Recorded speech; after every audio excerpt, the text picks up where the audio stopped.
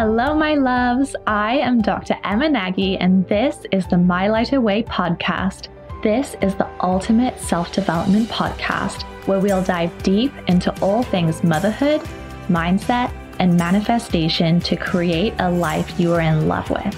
So let's dive in and get ready to expand the ripple effect you have in this world.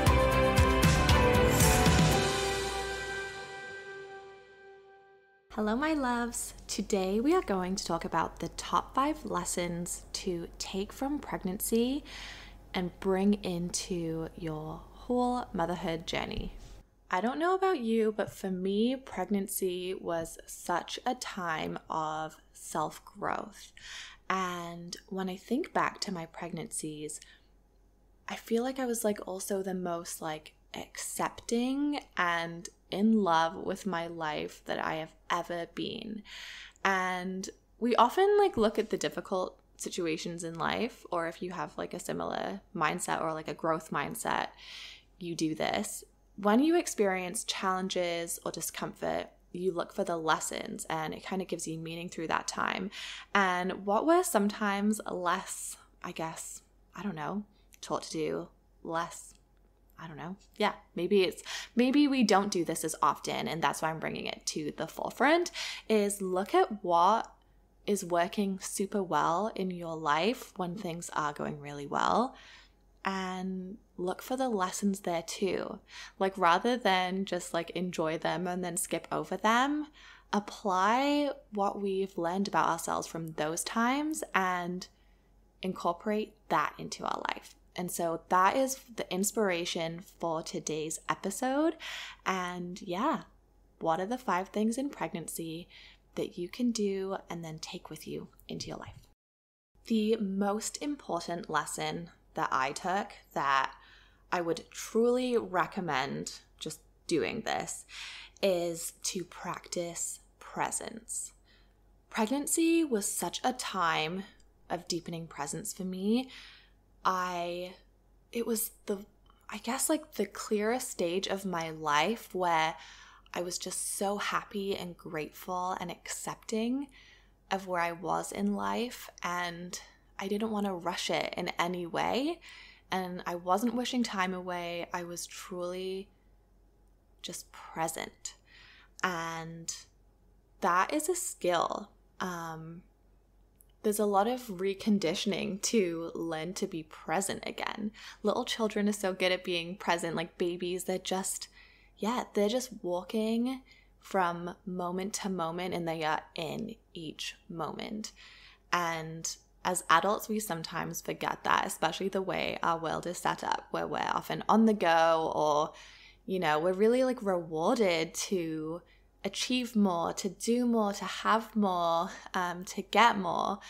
And something so freaking powerful that I do this every day, um, especially if like my anxiety is high or just if I want to deepen into a really good moment, is I practice presence.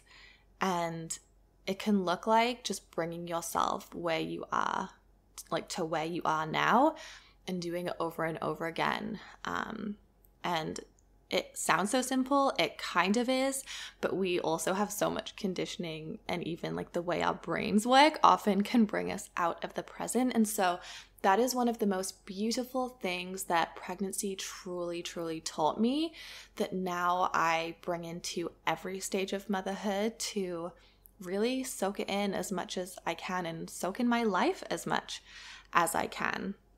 And it's definitely not always easy, even though the practices to bring yourself into presence are simple. But presence is so powerful for many reasons. Um, one of them, and if you guys haven't read The Power of Now by Eckhart Tolle, that book was life changing when I read it. And I feel like, I don't know, you have to be in a right state or at the right time to read it to get the most out of it when I got to the point where I was like, yeah, I'm into this, because, okay, a little backstory tangent that isn't really a huge detail, but my, my, um, I have two younger brothers, and one of them gave me this book, and I think I was like 20 probably. And I tried to read it, but I just, I'm just like, eh, like I couldn't get into it. So it just sat on my bedside table for ages. And it probably was like years later, like maybe like eight years. I'm like, oh, he's so wise. Um, my brother for giving it to me and uh, and for reading it himself at he was probably like 18, which is quite cool. But yeah, maybe like eight or 10 years later, I was finally like ready to read it. And by ready, I just mean I saw it again. And then I was like, hmm, I'm just to give this a try. And it just spoke to me. And I read the whole thing. And it's actually pretty amazing how the book, the whole book, is about presence. And you would think that, you know, you'd run out of things to say after like a few pages or even a chapter, but it just really um, shifted something in me.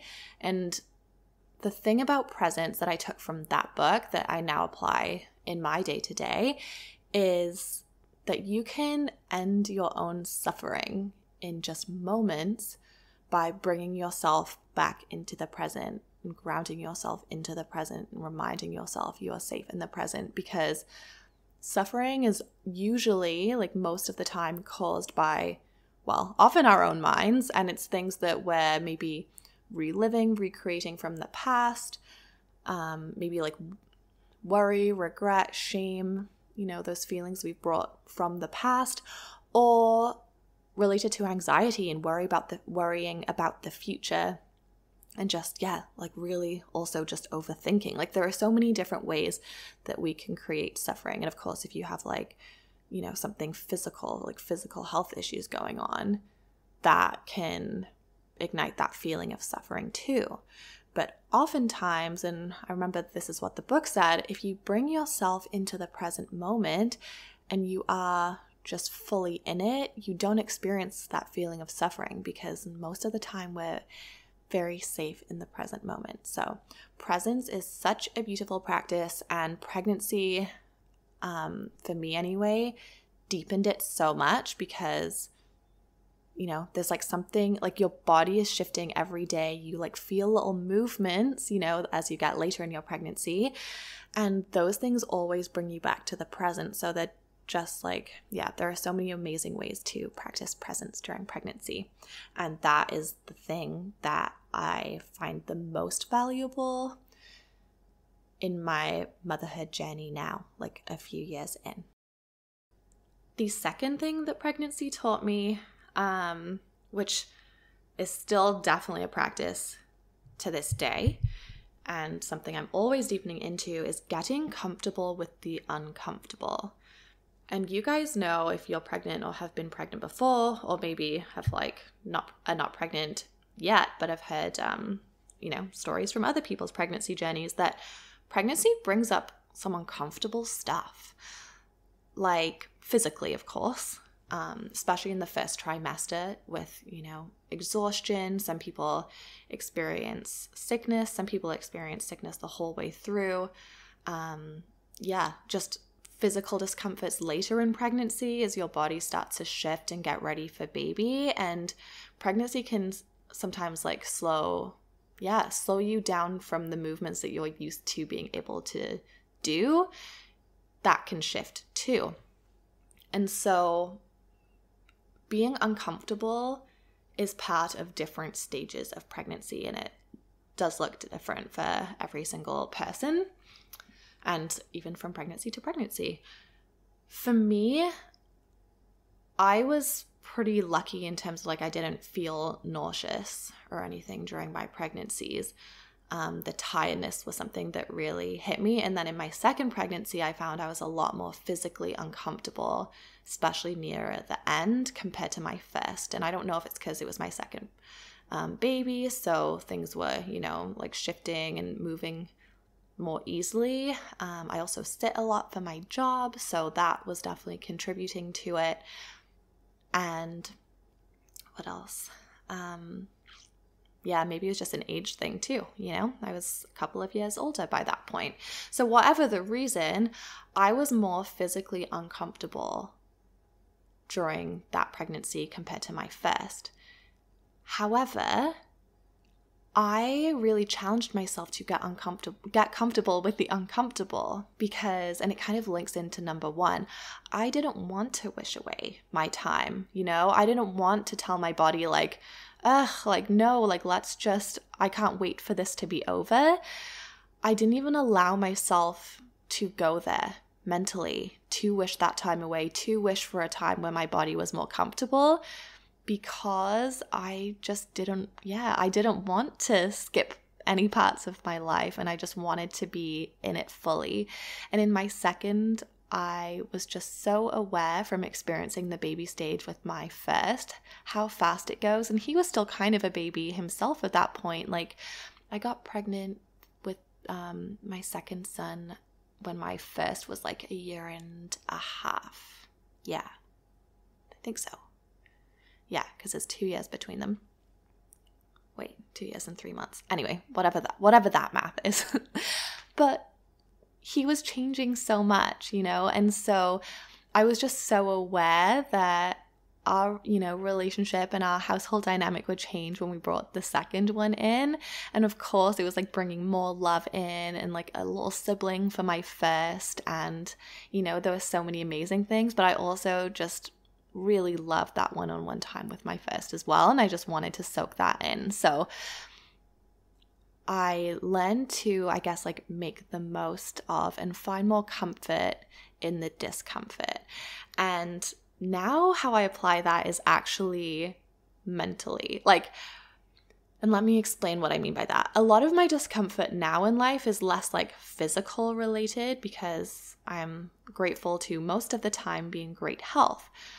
And, you know, I try and take really good care of my body or as much as I could do better. But, you know, I do make a conscious effort to take good care of my physical body um, so that I do feel, you know, so I do feel good. And for me, what I'm working on, and it goes in phases, but right now is like my mental health and decreasing my anxiety and, you know, just, yeah, elevating my mood and my energy. And sometimes life is uncomfortable. Sometimes, especially like different changes in life, can be super uncomfortable. And even just like growing a business, there's so much discomfort in that and like pushing yourself out of your comfort zone. And so, even happy changes can bring stress, right? So, for me, it's about learning to even like get comfortable with the discomfort of constantly putting myself out of my comfort zone with my business because I don't want that to take away from the joy in my life, or I don't want to wish away this time. And that's something I'm constantly bringing myself back to, especially as someone who, like, I love manifesting, I love creating goals.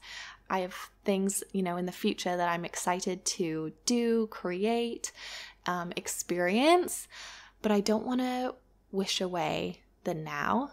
So, and if the now is uncomfortable, if I'm pushing myself out of my comfort zone all the time, or if my anxiety is high, I don't want those things to rob me of the joyful moments of these times as well. So it's like finding that comfort in the uncomfortable moments. Number three was a really big one for me. It was around learning to connect to my body and learning to listen to my body. And actually, before pregnancy, I got much better at this. And I actually realized, even, you know, thinking about like, oh, I would like to become pregnant and just learning about how my body works, how my cycle works, all of that stuff was actually quite new to me. And I yeah, there was so much that I learned in that stage. And I really carried that through to my pregnancy and stayed connected to my body, which really helped me to have a healthy pregnancy, to, you know, gain like gain weight for my baby, um, and you know, for also for myself after having the baby. You know, there are so many, of course, like really healthy benefits to gaining weight during my pregnancy. So I actually didn't feel resistance towards gaining weight during my pregnancy. And I feel like I had a really healthy and actually really lovely body image. Um, I felt the most confident I've ever felt in my body up to that point during pregnancy. Like, I lo- I just loved it. I loved the changes that were happening to my body. I was so like curious about them and excited about them and I think attributed a lot of positive um I had a lot of positive beliefs around and stories that I would tell myself around yeah, around these changes that were happening and it was really lovely cuz I got to connect with my body so much more and I think that really helped me in postpartum to heal and helped me through birth for sure. That connection with my body to have two, you know, natural, um, empowering. Listen to my podcast episode on my birth story that didn't go according to plan, but even that one was empowering, and my connection with my body helped me out um, throughout that experience. But, and then even now, you know, throughout just regular motherhood, I think it's so important to listen to our bodies, especially if we're, you know, busy taking care of little ones, busy working, you know, we have like other life responsibilities. And so being able to do quick check-ins with your with your body and giving it what it needs is super super important. The fourth thing that I really would encourage you guys to do during pregnancy and then bring that with you is consciously connect to others. And during pregnancy, there are so many beautiful little ways that you can do this, but consciously connect with your baby. Like take micro minutes, even like seconds every day, and just tune into them. And, you know, you can send them love, you can just be with them, you can be present and like pay attention to their little movements and just, you know, soak that in, appreciate that. I know some people, it's so funny. I know some people like that weirds them out to like think of that, but I just adored it and adored that connection. Um so yeah, take what resonates and leave the rest with everything I share. Oh, my little one, my little one has a cough right now and he's sleeping. So sorry if you guys can hear that in the background. But it's just such a beautiful way to build your connection with them during pregnancy. And then in motherhood now and just in life, I love to just like tap into the energy of my little ones, like send them love. I do this with like with my husband sometimes. He doesn't know this. He's to be like, "What?" Um and just yeah people i care about and just like send out love to them. And it just you know some people do it in the form of prayer. Um, i like the energy side of it too.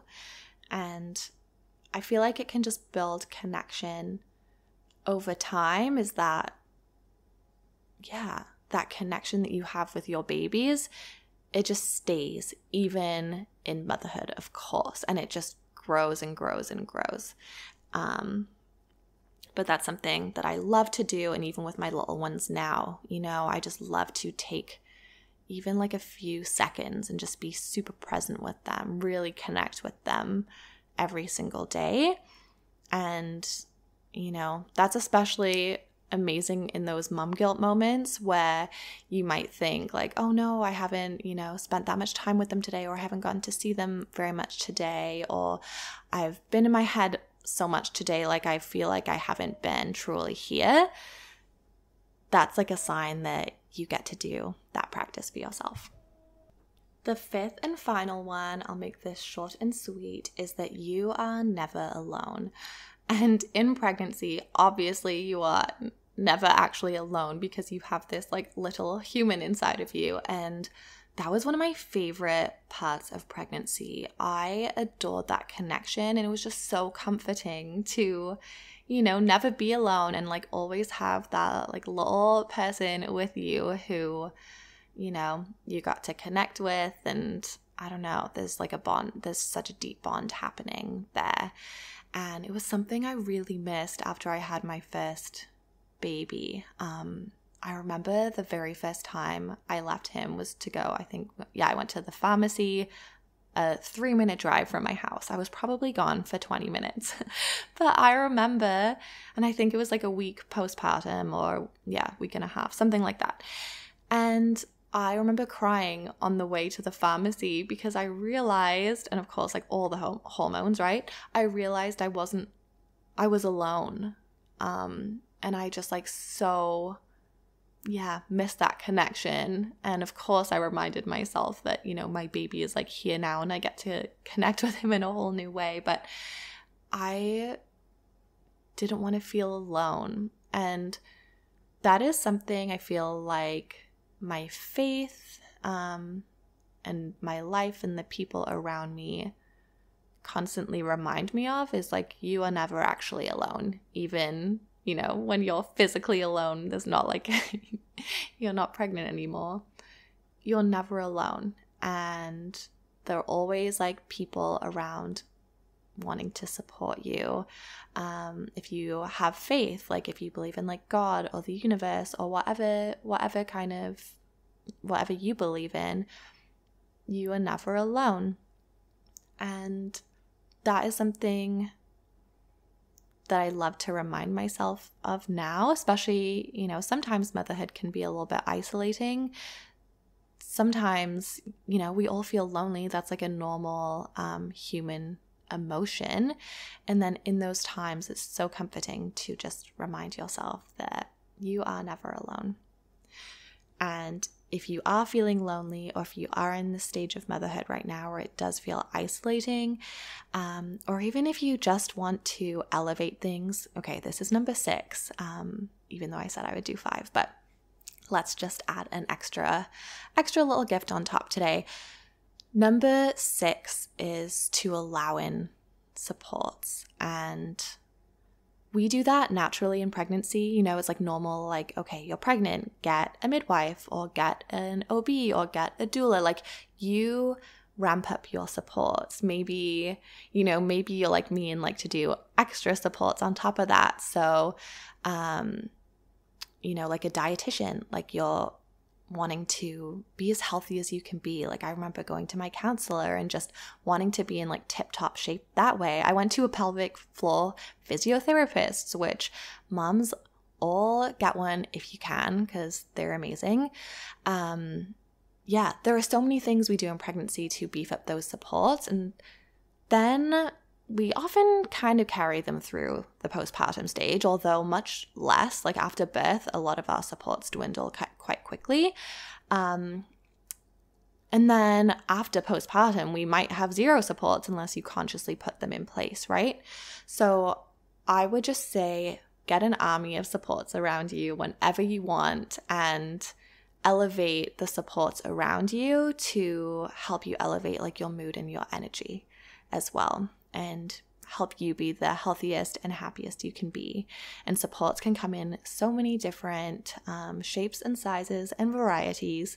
So I always encourage people to tap into your intuition at each given time in your motherhood journey to see what supports are the most supportive to you.